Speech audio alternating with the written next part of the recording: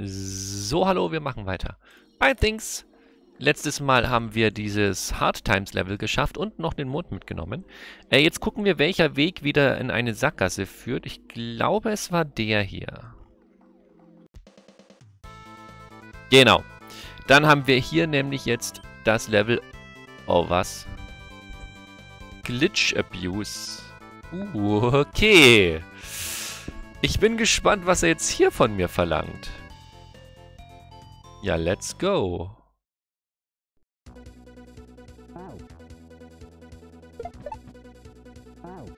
Okay. Okay, da muss ein Yoshi raus. Da kommt auch ein Yoshi. Oh, der wird unsichtbar. Ja, jetzt sitze ich auf dem unsichtbaren Yoshi. Okay, jetzt schauen wir mal. Also wir verstehen ja das, ne? Wir verstehen das ja jemand, der das jetzt spielt, wir tun jetzt mal so, wie wenn wir jemand wären, der das spielt und diesen Glitch, diese Glitches nicht kennt. Dann bekommt er aber die Münzen, um eben zu erfahren, was er tun muss. Weil dadurch, dass ich jetzt auf dem unsichtbaren Yoshi bin und von dem abspringe, gietet es mich jetzt durch die Mancha dadurch. Hui. Und jetzt denkt sich jemand, der das noch nie gespielt hat, what the heck is going on? Okay, das äh, könnte interessant werden. Ich bin mal gespannt, was er noch so alles eingebaut hat, was wir kennen vor allem. Ne?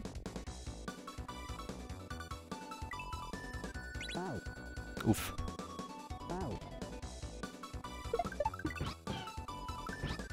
So. Na, zu bald.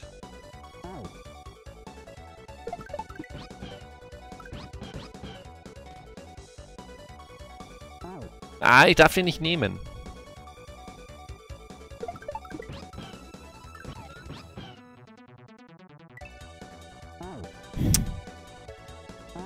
Ich setze ein State, wenn ich auf Yoshi bin. Ich will hier, ich will hier jetzt nicht mich lange aufhalten. Sondern mehr vom Level sehen. So. Ah!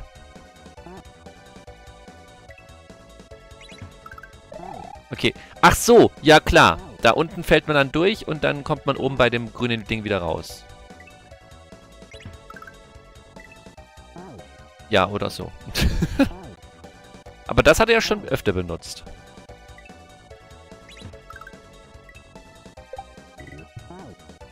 Hilfe.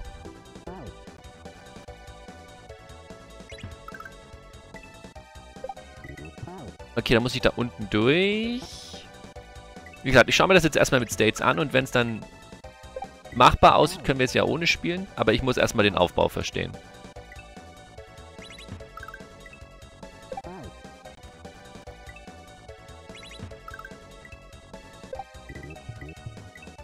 Okay, dann falle ich da durch. Mhm. Passt soweit für mich.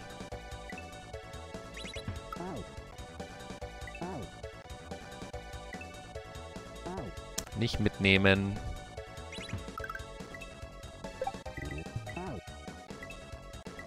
Ja, der ist, der ist okay, der State. Der ist voll in Ordnung. Ähm, was ist jetzt passiert? Achso, Yoshi hat schon was gegessen, ne? Deswegen wird er da oben zu Yoshi, aber mh, hm, was soll ich da tun?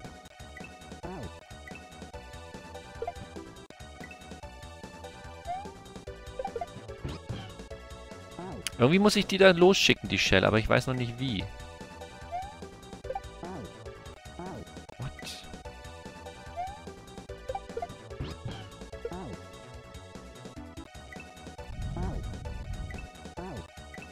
Genau deswegen will ich hier mit States arbeiten, weil ich erstmal verstehen muss, was hier überhaupt los ist.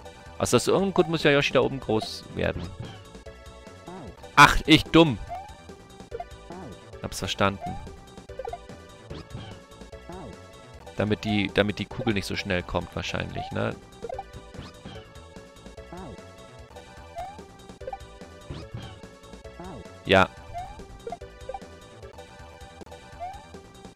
So wird die Kugel aufgehalten, die da runterfällt. Verstanden.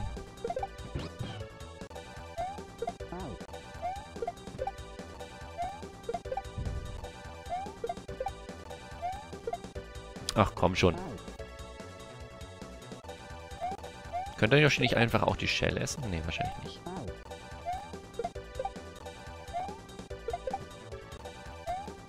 Jetzt schaffe ich es nicht mehr, das hochzuwerfen. Was zur Hölle ist los? Geht doch. So. Was kommt jetzt? Ducken oder was? Runter und hoch? Was, willst du? Ach, ich soll geduckt daran springen, oder wie?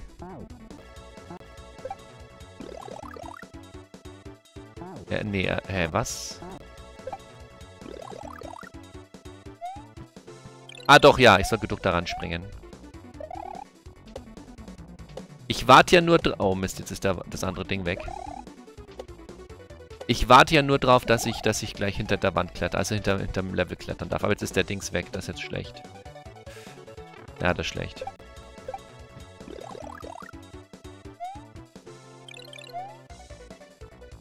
Ach so, weil ich mit dem mitfahren muss. Den habe ich gar nicht, siehst den habe ich gar nicht realisiert. Ups.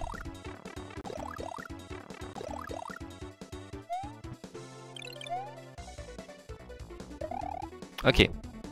Ah, okay, dann, dann kommt das Durchdrehen. Das ist natürlich auch ein ganz normaler, typischer Glitch. Also, für uns bisher keine Zauberei hier dabei, ne? Wir verstehen das alles. Jemand, der das so noch nie gesehen hat, der denkt sich hier nur, was zur Hölle passiert hier? Ich frage mich halt auch, ob man, wenn man jetzt nicht weiß, wie die Glitches funktionieren, ob man dann wirklich checkt, was man machen muss. Aber ich, dafür sind ja eigentlich die Hinweise da. Also ich denke schon, dass man es checkt. Also ne, da drüben muss ich mich jetzt halt durchdrehen, aber das sieht man auch. So, er, er zeigt an Ducken und er zeigt an blaue Münze. Jetzt muss halt nur jemand, der das nicht kennt, verstehen, dass das nicht sofort funktionieren muss, sondern manchmal muss man halt öfter drücken. Na, aber das... Na, da denkt jetzt, hä? Aber ja, dann passiert das schon. Was passieren? Das war blöd. Dann passiert da schon, was passieren soll.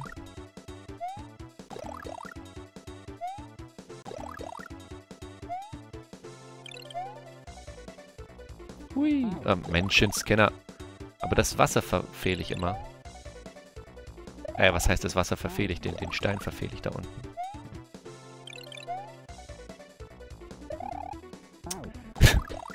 Dass ich den Stein verfehle, ist doof.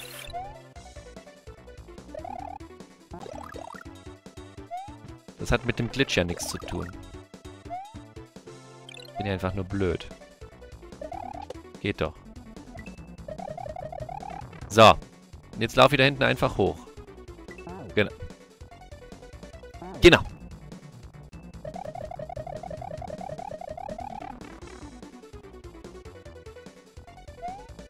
Und dann haben wir hier den Midway.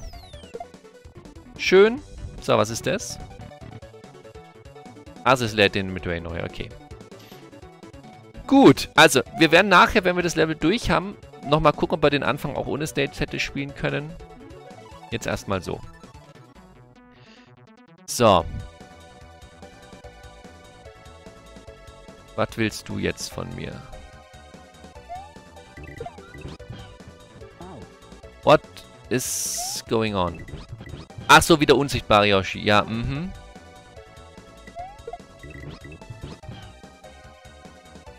Jetzt hat aber gar nichts ausgelöst. Äh, okay. Nein, nicht, leer, nicht laden. Trottel. Hier sind wir.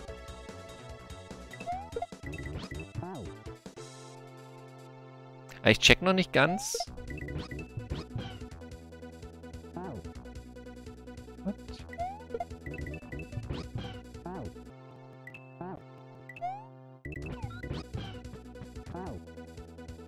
Was ich tun soll.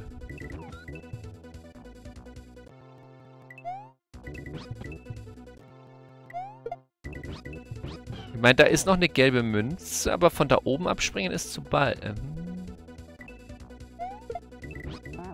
Weil der fällt ja gleich, hä? Hä?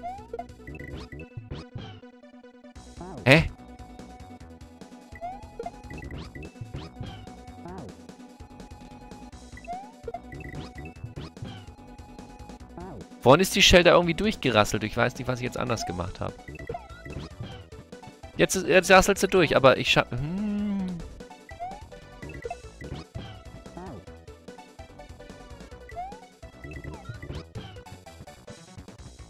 Ah, okay, doch so, doch so. Gut. Ich hab's... eh- Okay. Es ist schon so, wie ich es gedacht habe. Es dauert nur länger, bis ich... Ja, okay, alles klar.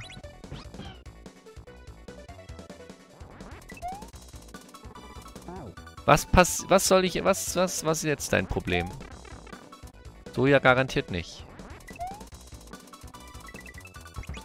Ah, jetzt soll ich da unten drauf landen, okay. Das hat mit dem Glitch jetzt noch nicht so viel zu tun.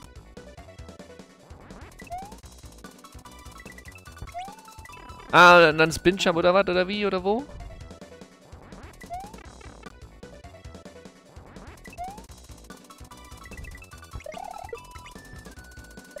Ah, durchdrehen. Okay, da muss ich dann durchdrehen und dann geht's wieder mit Fliegen weiter. Okay. Ich glaube, der Glitch hier soll sein, dass man... Wobei, es, es ist ein Glitch. Ich verstehe noch nicht, was da jetzt der Glitch dran ist. Aber vielleicht soll die Stelle auch jetzt einfach kein Glitch sein. Ich weiß es nicht. Ups.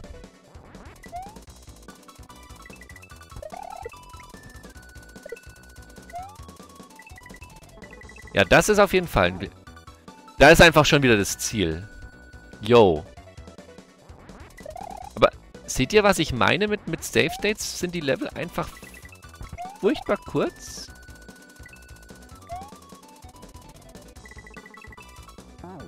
Ich muss noch irgendwie stoppen, aber ansonsten haben wir es.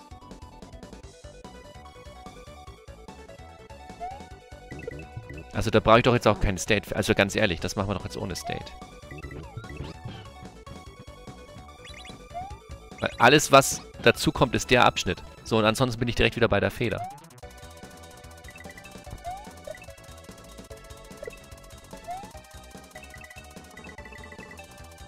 Ich muss noch hier irgendwie stoppen noch. Da muss ich noch einen Stopp mehr überlegen. Aber ansonsten läuft das doch.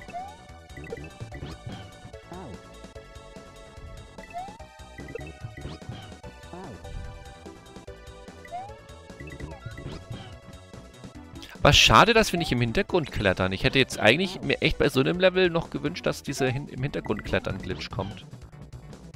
Weil das ist doch so der beeindruckendste Glitch überhaupt. Jetzt von, von den regulären Glitches, in Anführungszeichen. Nein, nicht dumm!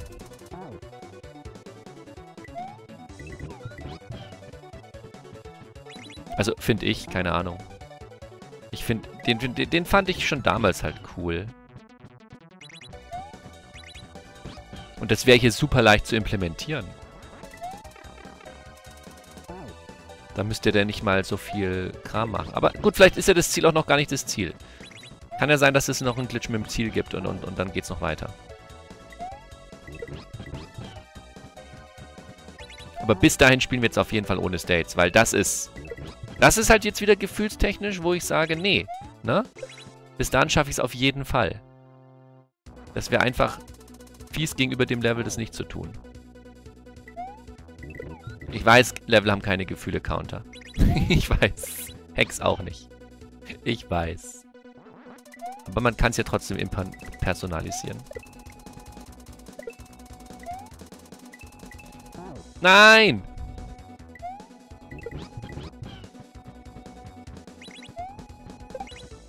Ach komm. Super.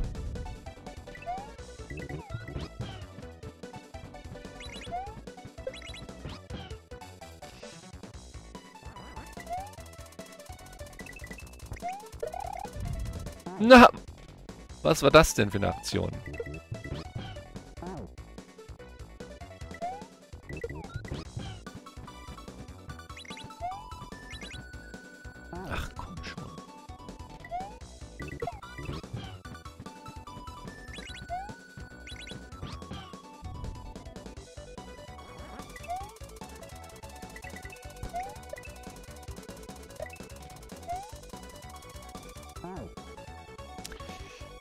Schusch!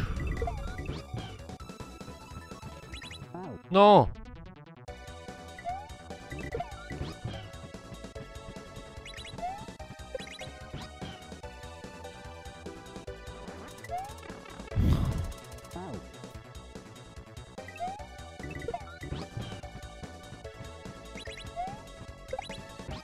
Nein, nee. Oh.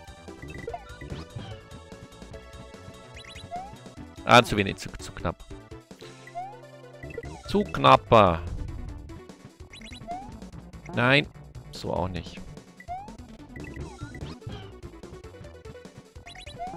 So auch nicht.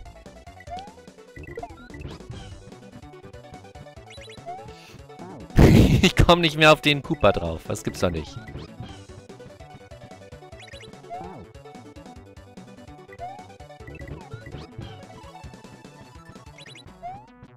Danke.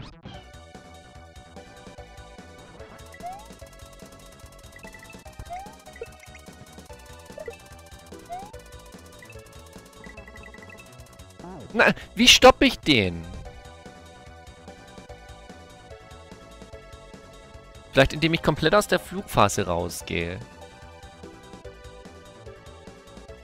Hm. Hm.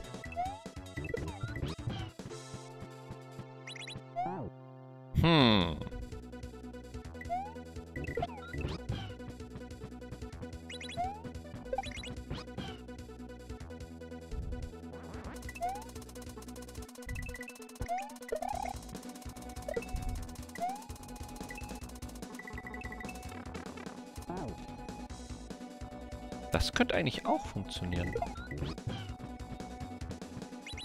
Wow. Tschüss.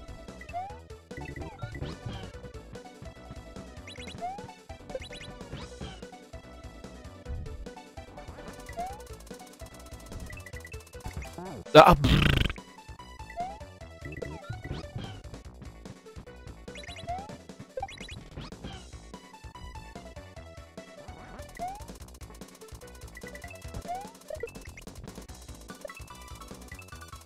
Nein, zu hoch!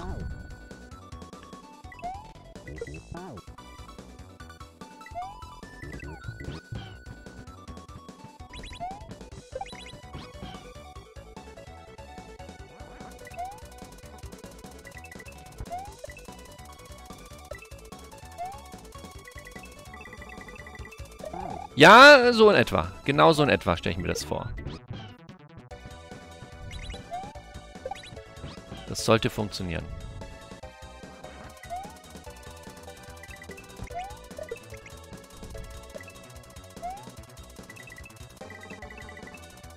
Yes!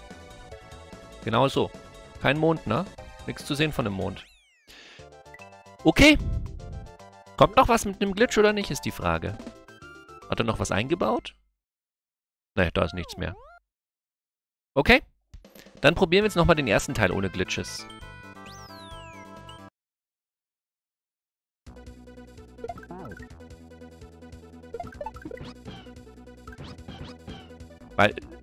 So schwierig war das jetzt nicht eigentlich, ne? Also, wer das nicht sehen will, Video ist für euch hier zu Ende. Ich werde kein neues Level mehr anfangen. Ich werde jetzt mir noch vielleicht 10 Minuten oder so nehmen, um noch den ersten Teil zu probieren. Weil es war echt kurz. Ich könnte mir höchstens vorstellen, dass die Stelle, wo man das Yoshi hochwerfen muss, dass ich da ein paar Mal Probleme bekomme. Und halt ansonsten so in der Masse, ne, in der, in der Masse der, der Aktionen. Aber ansonsten sind die einzelnen Sachen eigentlich nicht schlimm gewesen. Es ist halt alles am Stück, ist halt immer das Problem, ne? Das ist ja das, was das ausmacht. Aber so, ah, aber so grundsätzlich sollte es eigentlich machbar sein.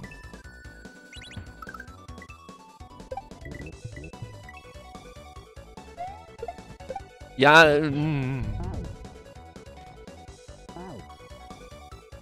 Ich glaube, da ist es am schlausten, man springt erst auf den drauf und wirft dann das Yoshi hoch. Nicht alles gleichzeitig. Man hat ja doch genug Zeit, bis die Kugel kommt.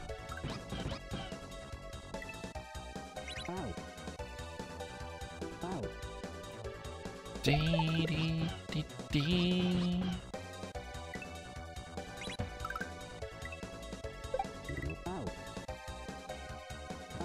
Aber wie gesagt, schade, dass man nicht nach hinten klettern durfte. Das wäre eigentlich doch was, was man hier noch definitiv hätte einbauen sollen. Das ist, also, wenn ich Glitches vorführen will, dann gehört der für mich sowas von dazu, weil der halt, das ist einfach der beeindruckendste. So plötzlich ist man hinten und klettert das komplette Level durch. Das ist so cool.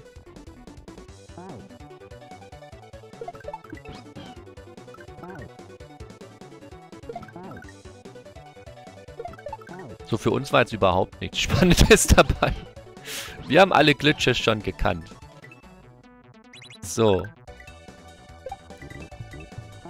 Mist. Aber interessante Idee auf jeden Fall.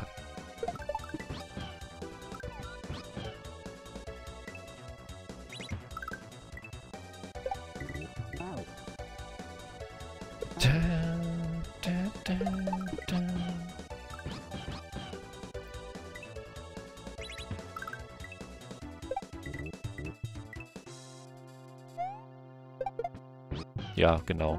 Genau so. Also das geht, das geht. Also die Stelle, von der ich dachte, sie wird schlimm, ist gar nicht so schlimm.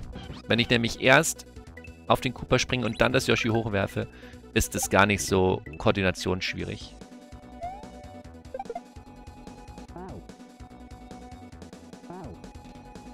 Ja, gut.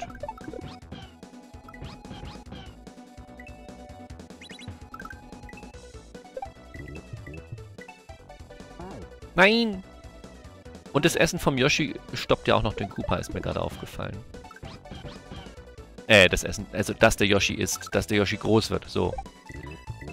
Das Wachsen vom Yoshi stoppt den Koopa, der da entlang rutscht. Seht ihr das? Zack. Sonst würde der nämlich weiterrutschen. Aber auch das würde man, glaube ich, noch schaffen, oder? Der hat jetzt nicht so gewirkt, wie wenn es unmöglich wäre, da hinzukommen. Dieser... Okay, bisher ist dieser Manche da an der Stelle, der, der was, was mich am ehesten aufhält, Lul. Hätte ich auch nicht gedacht. So. Ja, okay. Wenn man es nicht... Ja, wenn man es ein bisschen verfehlt, geht es nicht so gut. Aber ich glaube, es müsste grundsätzlich möglich sein, den noch zu erwischen.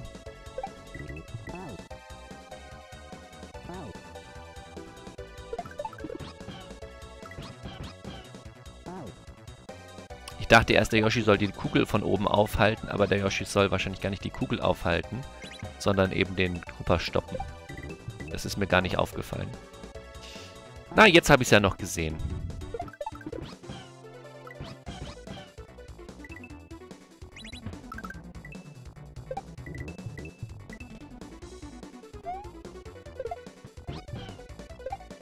Ja, schön.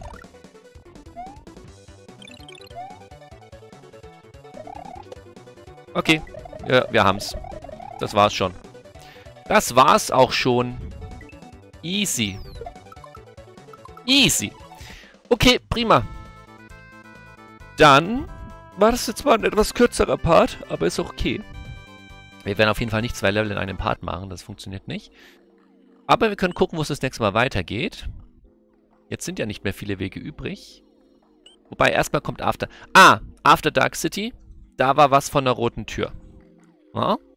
Jetzt können wir mal wieder einen der wenigen Hinweise, der uns noch bleibt, nutzen. Wir haben noch als Hinweis Red Door, After Dark City, Be Ready. Keine Ahnung. Und Leave Bourbon House. Und Over the Ending of Yoshi Overdrive. Yoshi Overdrive haben wir auch noch nicht gefunden. Das sind so die die ich noch nicht ausgelöst habe. Ach ja, und Things.smc2 muss ich noch öffnen. Genau. Ansonsten haben wir bisher alle Tipps genutzt. Finde ich gut. Finde ich gut. Ja, wir bewegen uns aufs Ende zu. Ich bedanke mich fürs Zuschauen und sage Tschüss.